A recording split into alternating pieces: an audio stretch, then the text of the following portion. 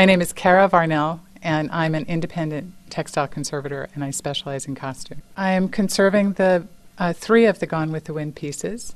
They have five dresses in the collection, and I am doing the uh, green curtain dress that's so famous, the red ball gown that she wears uh, going to the birthday party, and then the green wrapper. This dress is actually very unique in terms of its problems.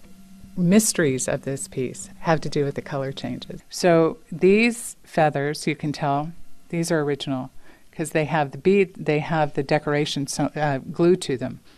And it was, as I examined them, I realized that the curl in the feather is created by a thread that's pulled through the back and then it helps it curl. Plus, they're fluffy and they're kind of purple. The replacement feathers don't have that thread in the back. They're not as thick, they're not fluffy, and the, the color is just slightly off.